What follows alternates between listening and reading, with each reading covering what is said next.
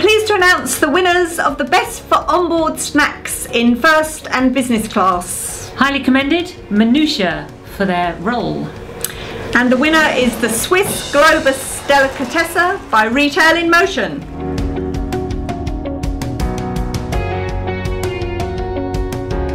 This year's winner for first and business class snacks was Swiss Globus Delicatessa for their great salad selection over the year uh, ahead. We thought the flavours were outstanding, the appearance was great, the meat quality was so tender, and it was well um, sourced and, and had a great story around each of the seasons that they're offering.